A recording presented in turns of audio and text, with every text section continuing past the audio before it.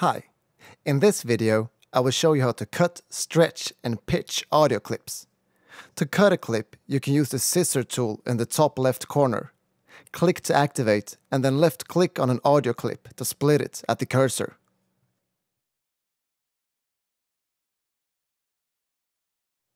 And you can always undo or redo any changes. If you cut a clip that has been extended, the extended part of the clip will change its length to the new length of the cut. You can also use the regular cursor tool to cut a clip.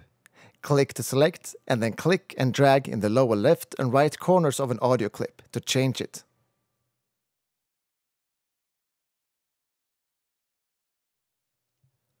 If you want to do smaller edits, you can use the zoom slider in the lower left corner drag to zoom in or to zoom out.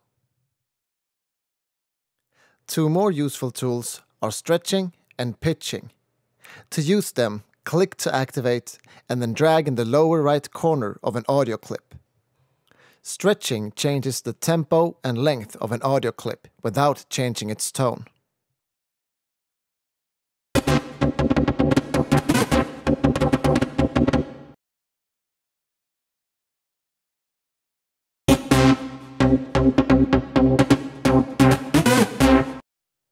The pitch tool changes both the length, tempo and tone of an audio clip.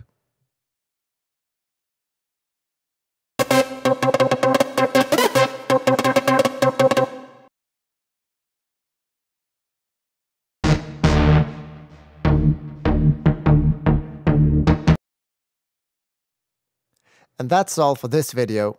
In the next one, I'm gonna show you how to add and use instrument channels.